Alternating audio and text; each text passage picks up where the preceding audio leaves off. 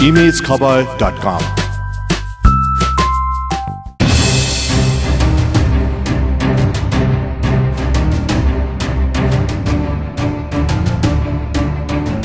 नेपालमा पछिल्ला दिनमा राम्रा भन्दा खराब थिति भन्दा बेथितिकै खबर सुन्नुपर्ने बाध्यताबाट घेरिएका छन् आम जनता। भ्रष्टाचार दलालीकरण ठेकेदारको दादागिरी राजनैतिक दल र सरकारी कर्मचारीको मिलमुथमा राज्यको ढुकुटी माथिको ब्रह्मलुट यस्तै यस्तै खबरले भरिएका हुन्छन् हिजो आजका संचार माध्यमहरू। अन्तर्राष्ट्रिय अपराधसँग जोडिएका विषयमा नेपाल ट्रान्जिट चाहिँ प्रयोग हुन थालेको खबरले सबै नेपालीको मन ढक्क हुन थालेको छ। यही मेसोमा अन्तर्राष्ट्रिय तस्करहरूले नेपाललाई सुन तस्करीको सजिलो मार्गको रूपमा प्रयोग गर्न थालेको देखिँदैछ।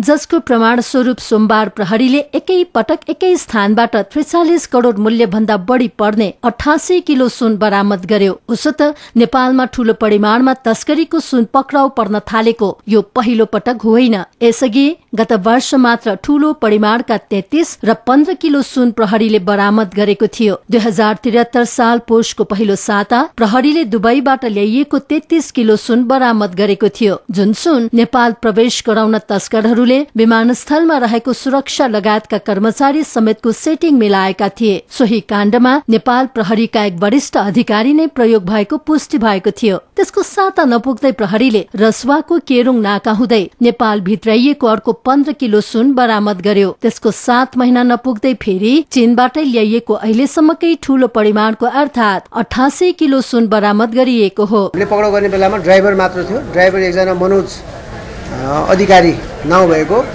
मकवानपुर घर भएको मानिस चाहिँ त्यसमा पक्राउ परेको छ। हामीले यसमा यो गाडी चाहिँ टाटा सफारी सत्र लटको छ चार दुई सात नम्बरको टाटा सफारी गाडी हो।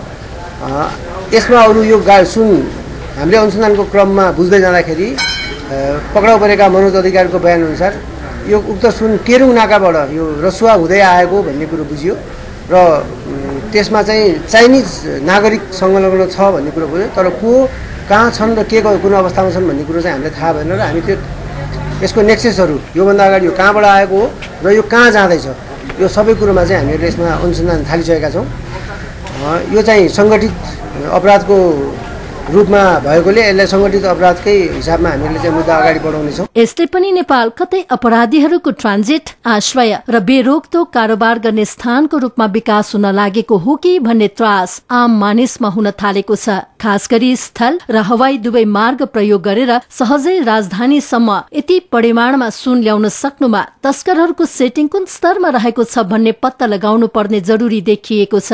राज्य संयन्त्रको राजनैतिक र प्रशासनिक निकायको संलग्नताको पर्दाफाश नगर्दासम्म यो प्रकरणको जालो सहजै तोडिन पक्कै सक्ने छैन। किनकि विगतमा मन्त्रीको गाडी नै विमानस्थलसम्म पुगेर सुन तस्करी गरिएको प्रकरण छताछुल्लो हुँदा पनि उनीहरूले उन्मुक्ति पाएको तिनै पात्रहरू पटक पटक राज्य संयन्त्रको उपल्लो निकायमा पुगेर कानूनी शासनको धज्जी उडाएको उदाहरण हामीसँग प्रशस्तै रहेको छ।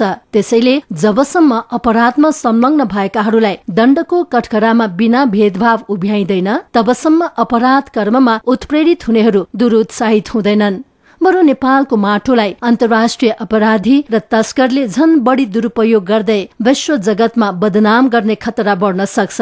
यसतर्फ नीति निर्माताले बेलैमा ख्याल गरून्। समाचारका लागि क्यामेरा पर्सन उत्तम आनन्दरका साथमा ग्रीष्मा राज भण्डारी।